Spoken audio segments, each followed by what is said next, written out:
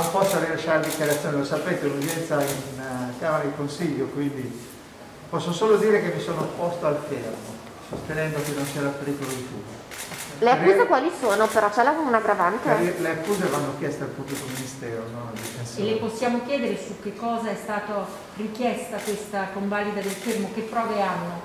Io le dico quello che ho detto io. Ho, ha parlato? Io mi sono Marco ha parlato? alla convalida del fermo ritenendo che non vi siano i presupposti, mancando il pericolo di fuga. Mm. Per il resto posso dire che è un processo diciamo abbastanza complesso, e che sono molti i temi che vanno indagati, parere, e che le iniziative difensive verranno prese quando tutte le tematiche verranno approfondite. Il suo assistito si è avvalso la facoltà di non rispondere? Sì. Ha chiesto della mamma? Vi ringrazio. Grazie a lei, buon lavoro. Da dire, grazie, arrivederci.